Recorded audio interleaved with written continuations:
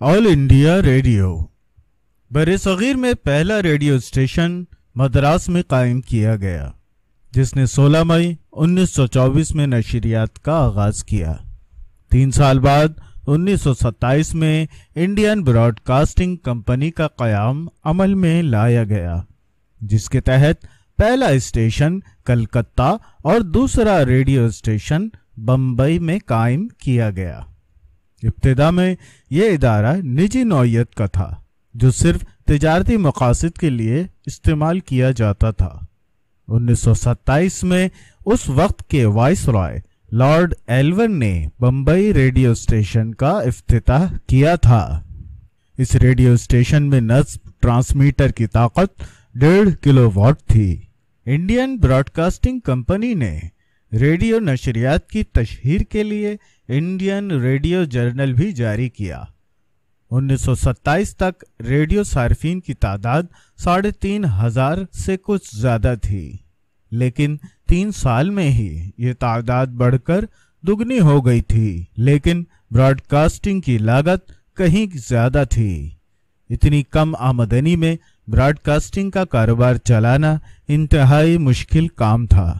لہذا انیس سو تیس کے دوران انڈین براڈ کاسٹنگ کمپنی دیوالیہ ہو گئی اور یکم اپریل انیس سو تیس سے برطانوی راج کے تحت چلنے والی حکومت ہندوستان نے اس ادارے کی باغ دوڑ سنبھال لی تھی۔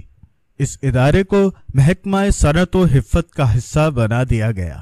اس ادارے کا نام انڈین اسٹیٹ براڈ کاسٹنگ رکھا گیا اور اس کے لیے بجٹ بھی مقرر کر دیا گیا۔ انیس سو انتیس کے نیو یارک وال اسٹریٹ معاشی بحران نے ساری دنیا کے معاشی نظام کو ہلا کر رکھ دیا تھا۔ اسی تناظر میں ہندوستان کے معاشی حالات بھی دیگر گوں ہو گئے تھے۔ لہذا حکومت کی جانب سے ہر شعبے میں اخراجات کی تخفیف کی جا رہی تھی۔ چنانچہ براڈ کاسٹنگ کا شعبہ جو اس وقت تک صحیح معنوں میں مستحکم بھی نہیں ہو پایا تھا، اسے بند کرنے کا فیصلہ کیا گیا، جس فیصلے پر صحافی تنظیموں اور عوام کے احتجاج کے سبب کچھ عرصے سرکاری تحویل میں رہنے کے بعد کسی نجی ادارے کی تحویل میں دینے کا اعلان کیا گیا۔ حکومت ہند کو جلد ہی یہ اندازہ ہو گیا کہ کوئی بھی نجی ادارہ اس سفید ہاتھی کو خریدنے میں دلچسپی نہیں رکھتا۔ چنانچہ ریڈیو آلات اور فالتو پرزا جات پر درامدی فیس بڑھا کر اور ریڈیو لائسنس کے قانون کو سخت کر کے اضافی آمدنی حاصل کی گئی۔ بی بی سی کے ایک اہم قدم سے ہندوستان کے ریڈیو لائسنسوں کی تعداد میں اچھا خاصا اضافہ ہوا۔ دسمبر انیس سو تینتیس میں اس نشری ادارے نے اپنے نئے پروگراموں کا آغاز کیا۔ اور یہ تمام پروگرام ہندوستان میں بہت صاف سنائی دیتے تھے۔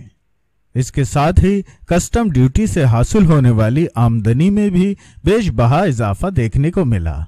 جب ایسٹ انڈیا کمپنی تحلیل کر دی گئی اور برطانوی راج براہ راست ہندوستان پر قائم ہوا، یا یوں کہیے کہ جب انگریز نے ہندوستان کو تقسیم کرنے کی ٹھانی تو اس کا مرکز دہلی کو بنایا گیا۔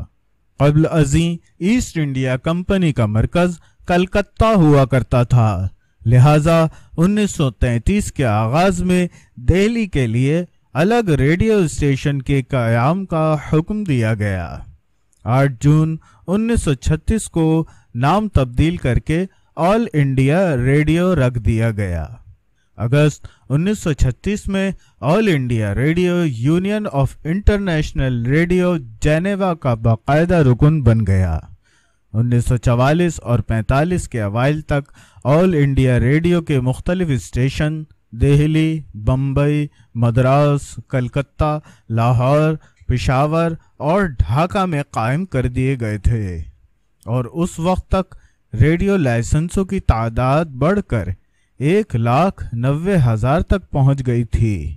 اور نشریات کا مجموعی دورانیہ بھی کافی بڑھ چکا تھا۔